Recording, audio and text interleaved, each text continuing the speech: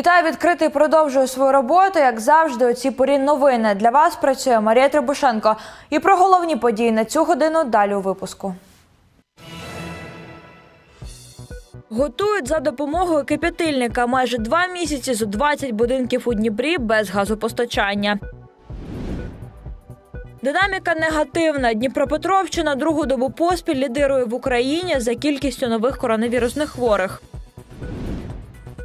Бетонно залізним огорожам бій у Новоолександрівській громаді розпочали прибирати перешкоди, які блокують рух автівок. Спалюватимуть відьми, влаштовуватимуть спіритичні сеанси. У палаці Потьомкіна на Геловін підготували програму для містян. Вхід тільки для вакцинованих. І про це та інше більш детально. Майже два місяці без газу. За 20 будинків на вулицях Каспійській та Любарського у Дніпрі відрізали від газопостачання, нібито через аварію в газовій мережі. Проте після усунення несправностей газ людям так і не ввімкнули. Мешканці змушені виживати без блакитного палива з середини вересня. Зверталися в усі можливі інстанції, але марно. Нині вони вже у вічі. Чому так сталося і чи буде край цим негараздам, знає наша Галина Ізмайлова. Вот чай кипятильником и суп на кипятильнике и все. Вот так и живем-то. Холодно, уже бы и подтопить бы надо было все. Ну, Мешканці будинків на вулицях Каспійській та Любарського, які вже майже два місяці виживають без газу, не стримують емоцій. У мене немає ні електроплитки, ні мультиварок, у мене немає нічого. Я їм і віну кип'ятильничком закип'ячую, і хліб у олійку мочаю і живу. кого-нибудь, чтобы подержать за горло. Чтобы они пожили так, как мы. Хотя бы пару дней. Люди розповідають, писали, дзвонили всюди, проте результату жодного. Мы писали в начале 1545, это правительственная линия. Очень любезно у нас приняли наше заявление. А пришли они куда, знаете? В Гургас они пришли. И когда вот тут мастер сидел и читал, какой дом и кто жаловался, они все знали. Так негласно сказали, получите ви газ, получите. Раніше будинки на Каспійській та Любарського були на балансі підприємств, які тут розташовані. Одне з них паперова фабрика. Проте вони збанкрутіли, а оселі передали з жилсервісу 5. Мы остались под отопительный сезон без газа. Я считаю, что это незаконно, они должны были нас уведомить. Тем более нас, мы переданы на баланс решением Днепропетровской міської ради на баланс жилсервиса 5. Однако нас на баланс жилсервис 5 не взял и не открыл нам лицевые счета. Это не наша вина. Днепромаз сказал, пока вы не заключите жилсервисом 5, как бы так, мы не будем с вами никаких вопросов, как бы подключения газа не будет, как бы такого плана. Жилсервис 5 мотивирует тем, что он бы как бы у нас на балансе стоит, но он не хочет нас брать в управление. Жалуйтесь в горисполком, пишите куда как бы в таком плане, пусть они принимают решение. Если примет горисполком решение, тогда мы вас возьмем как бы на баланс на содержание. Дійсно, не всі будинки жилсервіс 5 взяв на обслуговування, каже заступник директора підприємства Дмитро Пономарьов. Говорить, мешканцям потрібно домовитись про обслуговування їхніх помешкань з іншими керуючими компаніями. Проте через ситуацію, яка склалася, у жилсервісі 5 роблять усе можливе, аби в усіх мешканців з'явився газ. Все дома, которые э, были отключены, несколько десятков, они уже с газоснабжением, осталось только два дома. Каспийска 6 и Любарского 118. У них нет юрлица своего и нет управляющей компании. Но также э, принято решение помочь им и э, надеюсь, что буквально в течение там, недели, максимум двух, у людей будет газ. Газ не підключають стільки часу, бо будинки ще не встигли повністю передати керуючим компаніям або ж створити ОСББ, оформити усі документи та договори. Особливо це стосується паперів на обслуговування внутрішньобудинкових газових мереж. Через них Дніпрогаз і не вмикає блакитне паливо, пояснює юрист Артем Касьянов. те э, дома, где э, управитель или же ОСББ не заключила договор на обслуживание вн- внутридомовых сетей, должны автоматом браться на обслуживание внутридомовых сетей от Днепра. Насколько понимаю, удобнее документально и э, экономически э, заключить один договор по одному многоквартирному дому, чем э, с каждым совладельцем квартиры. Плюс это же третья платеж. Днепрогаз делает так, как ему удобно, являясь естественным мо- монополистом. Он еще не нарушил закон, но близок уже к этому. Відкритий надіслав інформаційний запит до Дніпрогазу, аби там відповіли, коли та за яких умов мешканці, які все ще залишаються без газу, побачать блакитне паливо у своїх домівках. На відповідь чекаємо. Галина Ізмайлова, Роман Вишинов, Володимир Туркулець, Open телеканал відкритий. Бетонно-залізні лабіринти у селі Новоолександрівка, що під Дніпром, місцева еліта встановила власні кордони. Металеві та бетонні огорожі блокують рух автівок, у тому числі пожежних та швидких. Громада вирішила боротися з нелегальними перешкодами, прибирати паркани. Як це відбувається, бачила наша Анастасія Вільхова. Візитівка Новоолександрівки це її курган. Унікальний об'єкт, якому понад 5 тисяч років став магнітом для істориків та археологів. Однак цьому не дуже раді мешканці села. І на зручному в'їзді встановили шлагбаум. Пришлось поставить шлагбаум, чтобы сюда не ездили люди. Потом, когда эти раскопки еще были, тут просто уже такой поток, уже машины прямо здесь были. Заезжают люди, все едут, мусор бросают, ломают шлагбаумы, становятся перед твоими воротами. И этот процесс, который они сейчас совершают, то есть сняли этот шлагбаум, конечно, он нас не устраивает. Подолавши першу перешкоду, починається справжній квест. Наліво підеш, на бетонну плиту наткнешся, а прямо ніяк. Там металевий паркан. А як ви ставитесь до ось цих перепон? Без комментариев. Чому? Тому вы положите за свои деньги асфальт, а потом посмотрите. У Новоолександрівці, що не поворіт, то новий бар'єр. Як дістатися до місця призначення неманівцями, не знає навіть більшість місцевих. Що вже казати про рятувальників та медиків. Їм без супровідника до місця призначення ніяк. Если вдруг надо будет скорая или там пожарная э, машина, как она может проехать? Это, естественно, какие-то ну, неудобства людям, да. Ну, все-таки, я не знаю, ну, в Конституции не прописано, что э, каждый может, э, что хочет, то и делает на, на дорогах общественного пользования. фінансування. Ну, негативно оставлюся. Прибрати паркани та огорожі місцевих просили не раз. Сільрада неодноразово попереджала власників. Неузгоджені об'єкти демонтуватимуть. Було вик- використані всі процедурні моменти. Значить, було підготовлено положення про зберігання цих всіх е, малих архітектурних форм, шлагбаумів, блоків, проче, проче. Було проведено колегіальне рішення е, виконавчим комітетом прийняте. І вже потім, після всього цього процес- процесуальних норм, були на виготовлені приписи. Приписи про демонтаж наклеїли на споруди. Власники прочитали та проігнорували вимоги. Одні акти зафарбували, інші просто позривали. Для того, щоб е, ці люди, які встановили ворота, е, несли відповідальність, повинні встановити, хто у свою чергу та коли встановив е, вказані ворота. На сьогоднішній момент це не представляється можливим. Паркани спилюють, бетонні блоки прибирають комунальники Новоолександрівської громади. А як ви плануєте знімати цю огорожу? Будемо спилювати. А чим? Є така болгарка, фортуна називається. Підключаємо до генератора, спилюємо і забираємо. Потім демонтоване на тимчасове зберігання. Якщо власники не заберуть огорожі протягом півроку, об'єкти задуть на переробку. Вилучені кошти підуть до бюджету громади. Анастасія Вільхова, Володимир Туркулець, Open News, телеканал відкритий. Ситуація не покращується. За добу в Україні виявили ковід в понад 22,5 тисяч людей. Це практично на 3,5 тисячі недужих більше, ніж вчора. Одужали вдвічі менше, ніж захворіли. Померли 692 пацієнти. Найстрімкіша хвороба поширюється в Києві, Донецькій та Дніпропетровській областях. Наш регіон другу добу поспіль лідер за кількістю нових коронавірусних хворих. Майже 1900 недужих, повідомили в обласному департаменті охорони здоров'я. В антилідерах Дніпро, Кривий Ріг, Новомосковськ, Павлоград і Кам'янське. В області майже 7 тисяч ковідних ліжок. Вони на 74% завантажені тяжкими пацієнтами. Переважна більшість не імунізовані. Тому медики вкотре наголошують, єдиний спосіб берегтися від важких наслідків вакцинація. Зараз щодоби на Дніпропетровщині роблять до 30 тисяч щеплень від коронавірусу. Ми вже підходимо до того, що матимемо мільйонного жителя області, який отримає вакцинацію. На сьогодні у нас 918 тисяч наших мешканців отримали першу дозу, і 646 – це ті, хто завершили або отримали е, дві дози вакцинації. На ранок ми маємо 374 тисячі доз трьох видів вакцин: це Коронавак, це AstraZeneca та комірнаті Pfizer. Із 30 жовтня до червоної зони карантину перейдуть ще сім областей. Таке рішення прийняло сьогодні на позачерговому засіданні Держкомісії з питань техногенно-екологічної безпеки та надзвичайних ситуацій. У червоному списку Житомирська, Івано-Франківська, Київська, Луганська, Львівська, Хмельницька та Чернігівська області.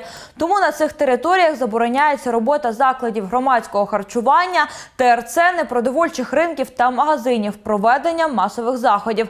Проте обмеження не діятимуть, якщо 100% працівників та відвідувачів закладів вакциновані. Зараз у червоній зоні 8 регіонів, серед них і Дніпропетровщина. На заздрість всій країні експеримент з масової вакцинації для вироблення колективного імунітету в Морщині на Львівщині вийшов успішним. Дводозно імунізовано 74% дорослого населення. Відтак зараз жоден хворий на корону не потребує госпіталізації. Про це повідомив міський голова Моршина Руслан Ільницький. За його словами, нині в Моршині заражені коронавірусом 22 людини, але всі лікуються амбулаторно. Щеплені городяни хворіють в легкій або середній формі. Не можете прийти в центр вакцинації, тоді він йде до вас. У Дніпрі щеплення від коронавірусу можна зробити і вдома. Містом курсують більш ніж півсотні мобільних груп медиків. Для кого такі привілеї, знає Олександр Тущенко. 130 на 90. Спочатку міряють тиск та температуру, розпитують про стан здоров'я. У пенсіонерки Еми Матвіївни все гаразд, тому за кілька секунд у неї перша доза вакцини.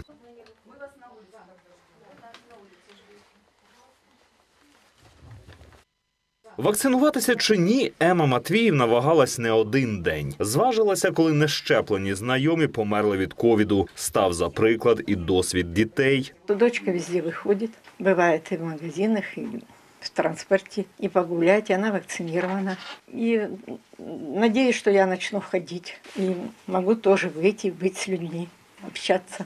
Але нещодавно Емі Матвіївні зробили операцію на нозі. Тож самотужки дістатись до центру вакцинації вона не може. Ледь пересувається по квартирі. Тож до жінки приїхала мобільна бригада лікарів. У всех семейных врачей есть э, такая категория людей. То есть, и мы обзваниваем х- данных пациентов, кто согласен, желает вакцинироваться. Основную массу м, людей вот так, э, сделали в апреле, мае.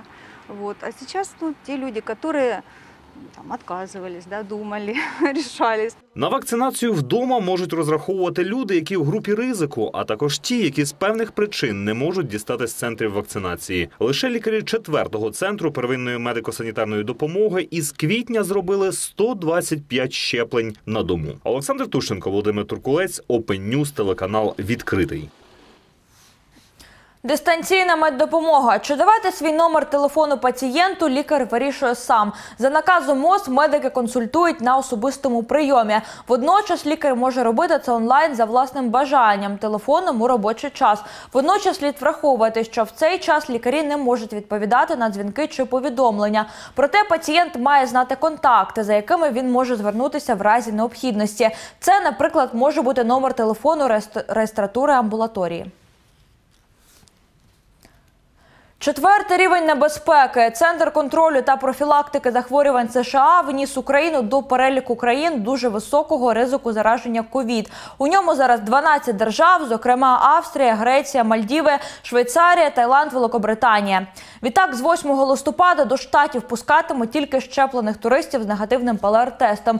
Він не знадобиться лише дітям до двох років. Також тест можуть не робити люди, які мають підтвердження про одужання від корони. Відповідний указ підписав президент США. В країні визнають такі вакцини, як Pfizer, Moderna, AstraZeneca, Sinopharm і CoronaVac. З моменту отримання останньої дози до в'їзду в США має пройти щонайменше два тижні. Вимоги щодо вакцинації не стосуються осіб до 18 років.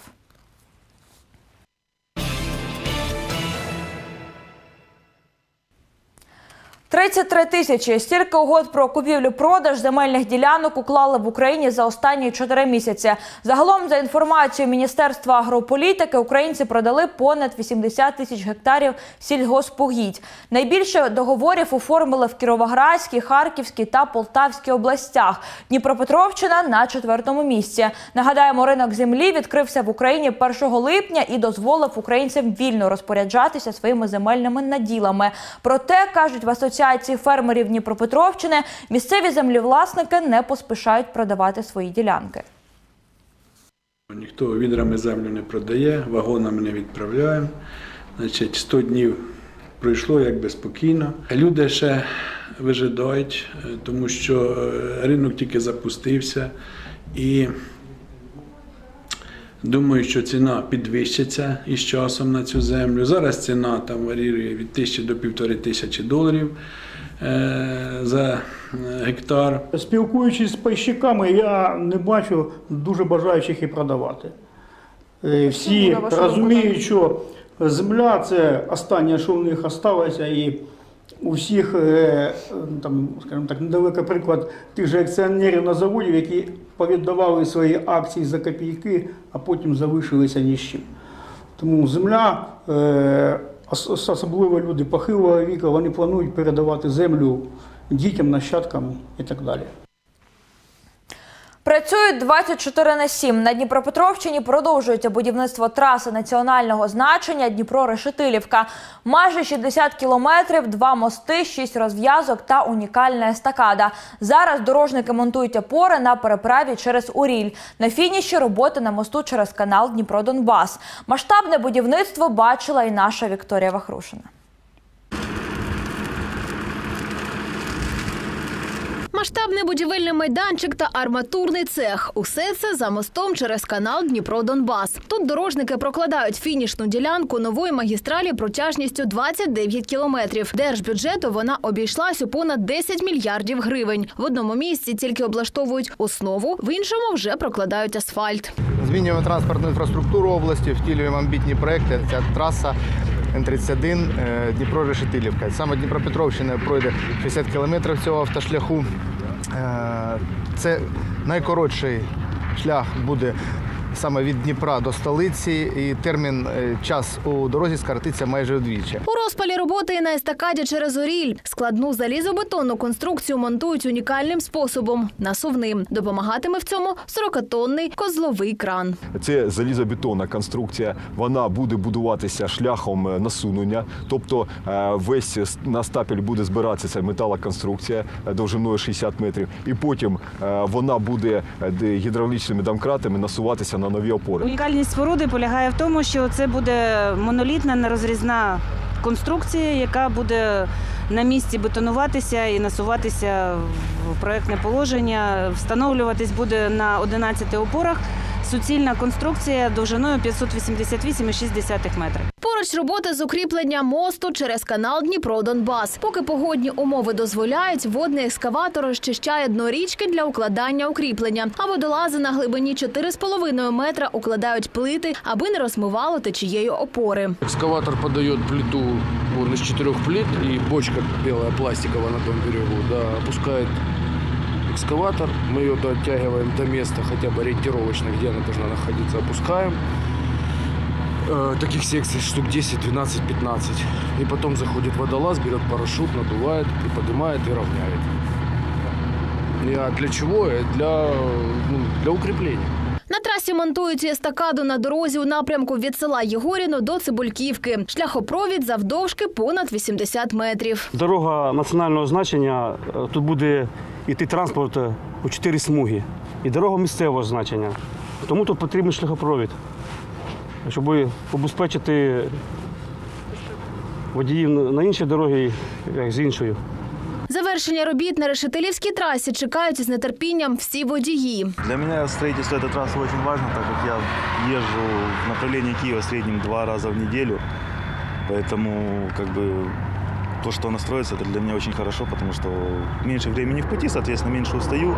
И, соответственно, это безопасность. Ну а так, а якщо траса буде, то, звісно, буде хорошо.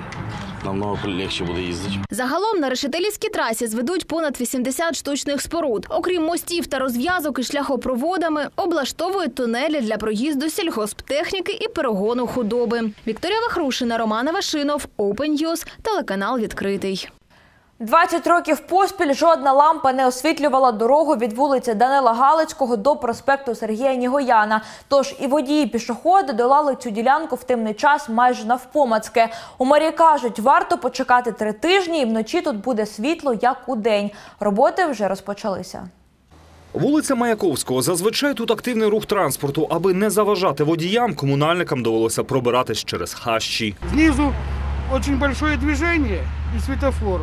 Значит, будем переезжать только по верху, доставать, э, насколько э, хватит вышки, то есть 17 метров. Это и опасно, но в то же время э, получается, чтобы не усложнять движение Згодом тут буде нове лед-освітлення. Для цього змонтують 95 кронштейнів і протягнуть майже 3 кілометри самоізольованого кабелю замість старого та аварійного. Идет установка кронштейнов, светильников, монтаж и подключение светильников к несущим проводам. Працюють комунальники на 12-метровій висоті. Робота небезпечна. Считається від 3 метрів вже опасна зона. В зависимості, де ми робимо, які опори стоять освітительні. Є 10 метрів, є 12, є 8 метрів. У середньому на встановлення однієї лампи монтажники витрачають 40 хвилин, спускаються та піднімаються зо два десятки разів. І вже за кілька тижнів на ділянці дороги від вулиці Данила Галицького до проспекту Сергія Нігояна мають горіти більш ніж 150 світильників. Про це попросили люди. По данному участку много людей ходит и как Сахим. Много очень, что пишут вот именно. Не освещена там остановка, как Сахима, Дезимо, там проход вдоль от завода Коксахима, допустим, человек идет на, на проспект Свободы, ему темно идти в ночное время, там с ночной смены. И было и много, и ни одно обращение. Автошлях від вулиці Данила Галицького до проспекту Нігояна не освітлювався останні 20 років. Тож проїхати цю ділянку дороги і для водіїв було справжнім випробуванням. Це при тому, що шлях об'їзний для автівок, що рухаються з боку Харкова на Олександрію та Кропивницький. Комунальники обіцяють, шлях має стати світлішим вже із середини листопада. Олександр Тущенко, Василь Самовар, Open News, телеканал відкритий. Будівництво басейну у Слобожанському на фініші це ще один спортивний об'єкт, який з'явиться на інфраструктурній мапі області. Підрядники працюють над фасадом та вже завершують оздоблювальні роботи всередині будівлі. Подробиці далі в сюжеті. Два басейни та спортивні зали, роздягальні, душові, тренерські кімнати відпочинку. Новий басейн з нуля у Слобожанському стане доповненням спорткомплексу та повністю повторюватиме його за дизайном. Юний мешканець Слобожанського Владислав Мельник з нетерпінням чекає на відкриття. Тут спортсмены занимаются, и вот, допустим, после тренировки пойти в бассейн, там поплавать, просто отдохнуть, это, ну, это, конечно, нужная вещь. На першому поверсі спорткомплексу фітнес-кафе, на другому дорослий 25-метровий та дитячий 10-метровий басейни. На третьому місця для глядачів, розповів підрядник Володимир Кононов. У кожному басейні окрема температура для дітей 31 градус, для дорослих 29-30. На сегодняшний день выполняем работы по отделке уже, завершающие отделки. Это плитка облицовочная, это гидроизоляционные работы, это благоустройство наружное, Это освещение наружное, это монтаж до очистки бассейнов. Перед тем, как мы плитку ложить, мы заливали воду, 9 дней ждали, пока мы смотрели на, на гидроизоляцию, чтобы нигде ничего не текло. Все, она все выдержала. Місцеві кажуть, раніше у Слобожанському басейну не було. Тож, аби поплавати, доводилося їздити до Дніпра, витрачаючи багато часу на дорогу. Конечно, нужен бассейн, э, тренажерный зал построили, очень все довольны. Все хотят поддерживать форму, заботятся о своем здоровье, поэтому ждем бассейн. Басейн у Слобожанському одночасно зможе прийняти понад 160 відвідувачів. Один із акцентів ми робимо на спортивних інфраструктурних об'єктів.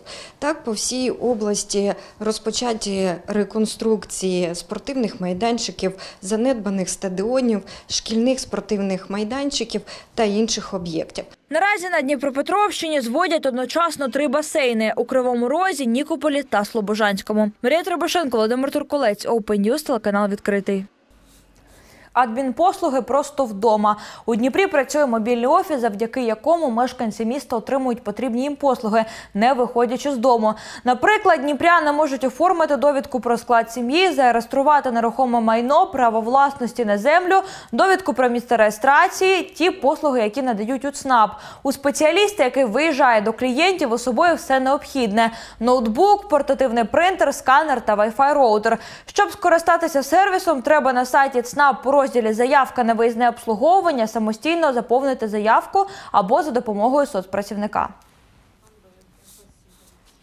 Дана послуга діє для осіб з інвалідністю, осіб громадян України, які досягли 80-річного віку, е, учасників бойових дій. Раньше я могла пользоваться транспортом, я сама справки брала. Сейчас, так как нахожусь в службе, я обратилась. Это очень хорошо, я считаю, потому что очень трудно. Это сейчас очень тяжело взять эту справку, надо ехать лично.